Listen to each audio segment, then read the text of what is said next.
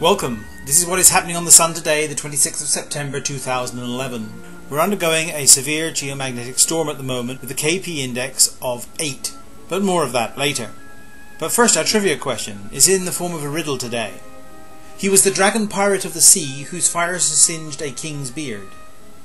He sailed on a pelican that turned golden, but was held at bay in California, and finally vanquished in Panama. His treasure hoard was sought greedily in Iowa. Who was he?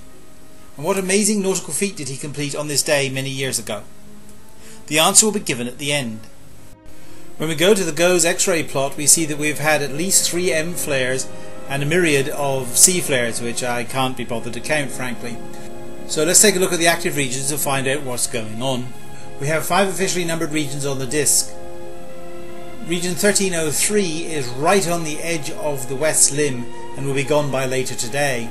So let's start with region 1301 that's just to the west of Sun Center. Neither region 1301 nor region 1304 produced any significant flares over the last 24 hours. Region 1301 may have decayed slightly, but it's really hard to tell with so many small spots spread over such a large area. Certainly region 1304 to the south and east seems to have grown somewhat, these spots seem larger and more prominent. Next let's turn to region 1302 in the northeast. It's still a very large region although NOAA thinks that it has decayed slightly. I'm not sure whether it's decayed, what do you think? However, it has produced 7 C flares and 4 M flares in the last 24 hours. Trailing along behind it is the new region, region 1305. And following that to the east, just on the limb, is a very similar looking region uh, which has not yet been numbered. Neither of these regions have produced any activity as yet. So all in all, solar activity has remained rather high, um, most of that due to region 1302. However, there have been some over-the-limb flares in the west from regions 1303 and 1295. Now let's follow the evolution of these regions as they cross the disk. Particularly I'd like to focus here on region 1302 as it becomes more visible. Is it growing or is it decaying? That is the question that will determine how much more activity we have over the next few days. I had hoped to make some special videos of each of the individual active regions like I did yesterday. However, HelioViewer was not cooperating today and when I got the downloaded images they uh, wouldn't render in my video so I'm, we're going to have to make do with the ordinary SDO 24 hour uh, plots. Anyway, there's a lot of exciting stuff going on, even that said. Uh, just sit back and enjoy it as the sun puts on a fireworks display for us. In the high temperature coronal image from the SXI instrument on GOES, there's a lot of uh, regions to look at. We don't seem to have a lot coming over the northeast limb, but there's this cute little loop that is uh, down in the southeast here uh, that I just loved, so I thought we'd zoom in on that for today. Once again, the SOHO coronagraph is showing us a very exciting time. I challenge you to find how many coronal mass ejections you see in this 48 hour period. There's quite a lot there, I guarantee it. And there is still no sign, as far as I can see, of the comet Elenin. I assume that when it broke up, it became too faint to be seen. Uh, when I next go into NASA, I'll ask uh, to see if they have found it in their process data.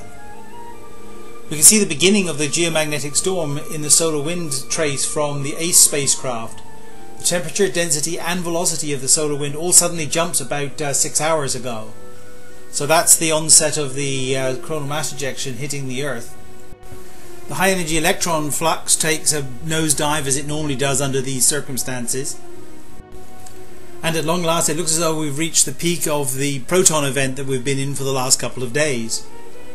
The auroral zone at the North Pole is looking very angry at the moment, which is more evidence that we're in a geomagnetic storm. And then when we look at the KP index, we find that in the last three hours it's jumped to level 8, which is severe storm level. The NOAA Space Weather Prediction Center is carrying the current level of geomagnetic storm at G2. Uh, however, it could go as high as G4. If that should happen, then there are a number of consequences. High latitude power grids may suffer large voltage spikes and systems could trip out.